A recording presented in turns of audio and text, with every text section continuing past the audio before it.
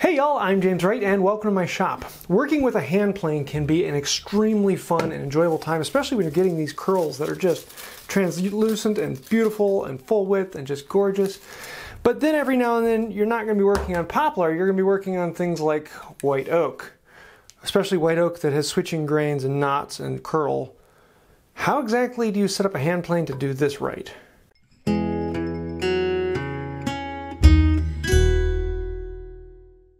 So first off, I have to say I'm sorry for the horrible audio. I recorded about four hours of footage today showing how this all goes together and smoothing out the board and talking it through. Took it over my computer and then realized that there was a problem with my microphone. So now I'm using the microphone on the camera. Um, so some of this is just going to be voiceover. Uh, so sorry if it's a little bit discombobulated, but all the information is going to be here. It's probably actually going to be a little bit better information because I'll have thought through it three or four times. So when working with really difficult wood, you have to do several things to a hand plane in order to make it work. And there are lots of really expensive planes like the Veritas Custom plane that I absolutely love, and this makes setting up really quick and really easy and a lot of fun, but the price tag on this is through the roof. Um, so you could do it with a lot of other things, and most of the time I'm using a standard Bailey pattern plane, and I can get all this work done with this plane. I recently got a Tay Tools number four, and this is a relatively cheap plane. Uh, now, it's not cheap in quality, but it is very cheap in price. It's, it's affordable in comparison to a lot of the new ones. Now, it's not like the dirt cheap Harbor Freight, but with this one, this I can set up to do this incredibly figured wood and detail it. So today we're actually going to be looking at setting up this plane from factory settings, I just pulled it out of the box, to smoothing this incredibly horrible board. Now everything I talk about with this plane can be done with any of the other planes. You can set up any Bailey pattern plane to smooth incredibly difficult wood. You just got to step through it and actually take a look at everything that's needed to make this happen. Now, any schmo can plane poplar, and this is poplar edge grain with the grain. And this plane isn't particularly sharp, but I'm still getting really nice curls on it. This is something that you, you can grab a plane and go to town on it, and if the wood's easy, it planes relatively easily too. But this is white oak, and white oak is not easy. And this particular one has all this crotch figure in here. We've got some curl, there's a lot of inclusions. This is just an absolute pain. The grain goes up and the grain goes down, and it is all over the place. And if you look at the rest of this, we're going to be actually doing this whole board. Most of this board, we're going to be planing against the grain. And some of this curl, it's going up and down. No matter which direction you're going to be going on this, you're going to be getting tear out. And so this is like the worst possible case scenario. Then we take this same plane over to white oak with this curl and twist. And, uh, oh, uh, uh, yeah, that's a pain. and we're just getting tear out everywhere. It's catching, it's gripping, and over here in this section with the with the crotch, it just slides over it. There's really nothing that this plane does very well on this because it's not set up to do this, and it's not terribly sharp.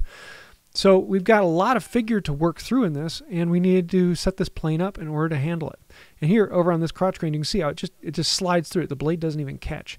That's a sign that the blade just isn't sharp enough. So what do we need to do to actually set this thing up? And the reason being is number one, it's very dense. Number two, it has a lot of silica in it. It dulls the blades rather quickly.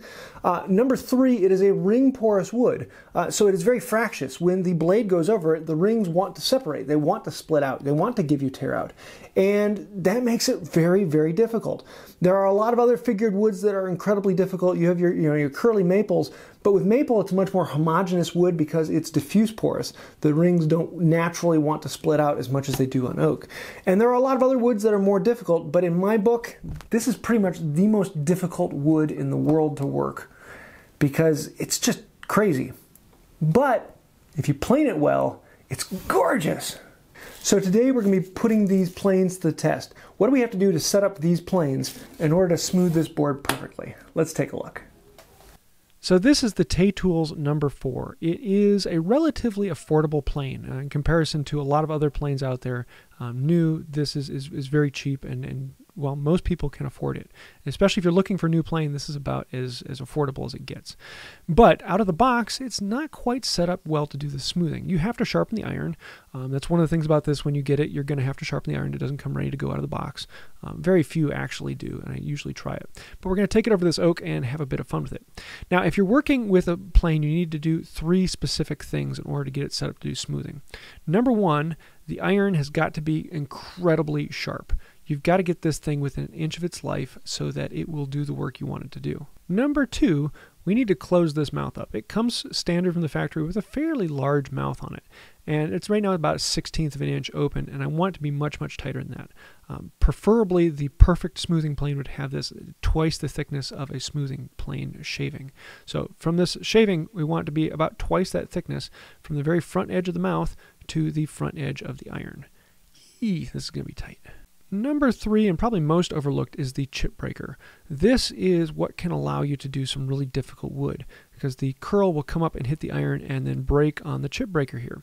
But in this case, this one has a bit of a lip on it straight from the factory. So we're going to have to do some work on that because this lip will cause the curl to come up the iron and then get caught underneath the chip breaker and will cause a little bit of an issue on that. So we want to adjust that up a little bit as well. And we'll be talking about specifically the use of the chip breaker here in a little bit, but keep in mind the chip breaker setting and how close it is to the front of this mouth is incredibly important. Here you can see how the knife will stick underneath the chip breaker. That's a sign that it won't work.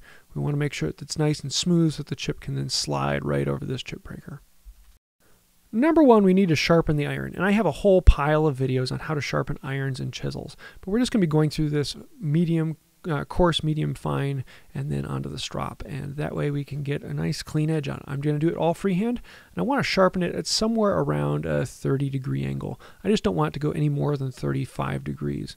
Um, usually with a, a, steeper angle, it means that the, the blade is going to last a little bit longer because this is a bevel down plane. Now, if it's a bevel up plane, uh, then you're going to run into other issues because you don't have a chip breaker. Um, and in that case, you do want a very high angle on there. But for this one, around 30 degrees. And I'm just going to freehand it on here onto the coarse and then onto the other stones. Let's just speed this up a little bit so I can show you the whole thing on here. It's really less than a minute's worth of work to do all of this, clean up the back a little bit, then take it over to the strop and it's done. It's it's a quick and easy process and don't spend too much time really overthinking this. And yes, it does shave hair. It's just one of those ubiquitous things you have to show with hand tools. So, hey, it does. Next, we need to look at the chip breaker. So I've drawn out on this the idea of what this actually is looking like because it's uh, kind of hard to show the whole size of it. So you can see how the nose of this actually has a, a flat point on it. You can see there's a bevel on the front and then it comes down to this flat edge. And this is where the chips will connect to it. Also, you'll see how the foot on the front is lower than the back edge of it, and that will lift it up so that you can actually get some pressure when you screw the, the screw down on and keeps the front edge tight so that chips can't get underneath it. We want to get rid of this little corner on here. So basically, we're going to sharpen this, and I'm just going to like that and sharpen off that little corner so that there's a bullnose on it. Also, you notice this is a fairly high, steep angle. That will help compress the curl and, uh, well, break the chip turning it into a chip breaker. Here I have the iron drawn on the bottom. You can see how the iron will connect to it. It'll give a nice clean angle there so if the chips run into it, they'll slide up the top. And this is basically how the iron is shaped underneath it. So that's what we need to do. We need to take that little corner off the front of this and uh, grind it down. To do that, I'm going to treat it basically like an iron and put an edge on it. I'm just going to freehand an angle on there, something pretty steep, something around 45, 50 degrees or so. And I'm going to keep going until I get a burr on the under, underside. And that way I know that this new angle on the nose will meet up with the bottom and I'll have a nice clean transition from one to the other. I'm going to keep going back and forth on this across all three stones until I get that nice and clean. Now we can mate it up to the iron and I want to make sure I have a good clean fit on here. I want to be fairly close and tight to the mouth, but I want to make sure that my my knife can't catch on that mouth. It just slides right over it. So if I put it on there and try and pull it back, it just slides over. It doesn't catch underneath. That lets me know I have a good clean fit there. I can also look through this crack here and hold it up to the light and see if there's any light coming through between the two pieces of iron. But you have to be kind of careful when you look up through there to make sure that uh, you, you can see it. So usually I use the knife technique, but sometimes if you look through there and see any light coming through, you need to do a little bit more work. Now we're going to put the screw through on these and tap them together I want to get that chip breaker right up tight to the edge and I want it to be about uh, two shavings away from the tip. So a very, very fine amount in there. And you can do that by loosening it up a little bit and then tapping it forward with a screwdriver. And once you get it in place, lock it down and you're good to go. Now we've finished two of the three steps. We want to put this all back together and start working on the mouth. Be very careful in putting it in. Don't let the tip hit the edge we don't want to ruin all the work we just put into sharpening that. So put it in, lock down the lever cap, and then we can flip it over and look at the mouth. And this mouth is pretty big. We're going to have to do some work to, to close that up. So on a Bailey pattern plane, you actually have to move the whole frog forward rather than adjusting the mouth. To do that, we're going to take the lever cap off again, and then we're going to disassemble the whole thing. Pull the iron out, and inside here, you're going to see two screws that are holding the frog down. We want to loosen those two screws up. It doesn't take much, just twist them a little bit. And now we can drive this forward. Now in the back, there is a screw down underneath the depth adjuster, and that will actually allow the whole frog to move forward and backwards as you turn it. So actually want to drive it forward a little bit, and if it's too tight, then you've got to loosen up the two screws in the top frog a little bit more. After we've moved it forward a little bit, we can reassemble it and then check the iron and make sure we're good pop it all down in there, tighten down the lever cap, flip it over, and look at the mouth again. And in this case, ooh, now it's too tight. Okay, we got to back it up a little bit. So it's take it all apart and loosen the frog and then adjust it, back it up a little bit more, check it, tighten it back down, put it back in, and you're going to go back and forth in this process quite a few times. And this one, it took me about six times. With the Bailey pattern plane, it's not a really easy thing to do, um, but once you get the hang of it and going back and forth, it gets done eventually. After going back and forth several times, you can see here now the mouth is really nice and tight. It's just a tiny bit open here, just enough space for a couple shavings to get through. That's what we're looking for. We want that nice, clean, tight mouth all the way across. Happiness. So now after all that, we have an incredibly sharp iron. Our chip breaker is close. We have a tight mouth. Now we can come over here. And oh, wow.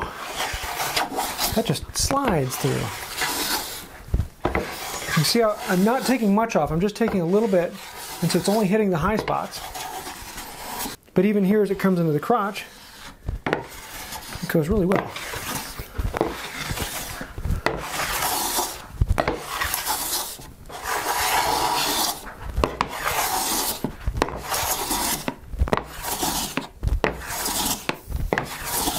So here you can see this grain. I've been going at it just a little bit here now. Nice and smooth here, nice and smooth here. I've got a lot of tear out here to remove. Got some tear out over here at the last plane left.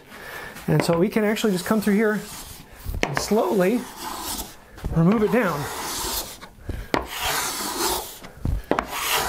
I'm taking a very, very light shaving. And these are just like half a thousandth thick. Not taking off much. It's basically just hitting the high spots.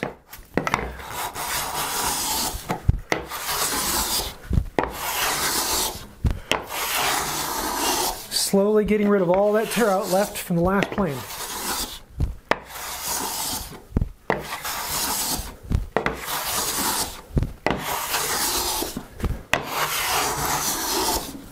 Now when smoothing and doing all the detail, you want to make sure that you're going straight in line with the board. You want your plane to be parallel with the board. We don't want to skew it like this because that will actually lower the angle of attack and make the mouth bigger, make the distance from the chip breaker bigger, higher chance of tear out.